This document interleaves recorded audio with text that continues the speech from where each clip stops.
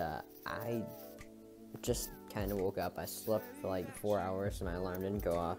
Anyways, my doggo.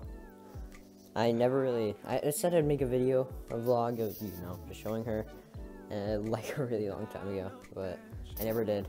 Anyway, she has a pretty interesting story right here.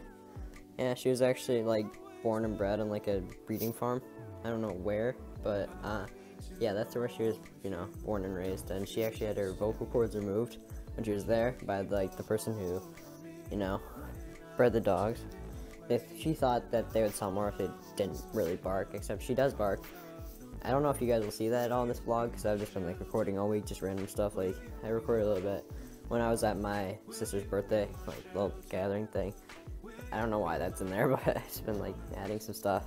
Anyways, her life continues a little bit she finds a home with uh, this like elderly woman, and uh, she actually like passed away, uh, just in her house. You know, it was just like just a, just died of old age, and uh, not a lot of people knew her, except for this doggy, and uh, basically she was just in the house with uh, her for four days before anybody found her, and she was like you know didn't have food, so.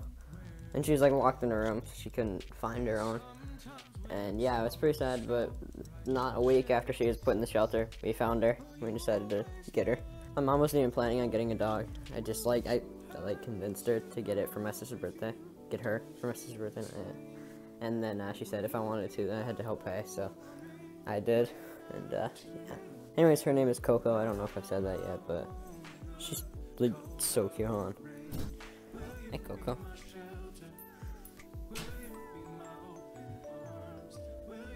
She's usually really, really hyper. That's why I like set her down because she just kind of gets riled up if I'm just sitting with her. So yeah. Anyways, I know this is kind of short, weird video today, but uh, I just wanted to introduce you to my dog, show a little bit of highlights that I had from last week. Anyways, hope you guys enjoy. If you did, please thumbs up.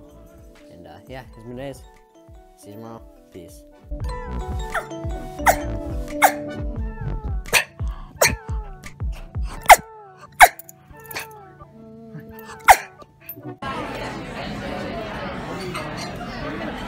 job. I did it.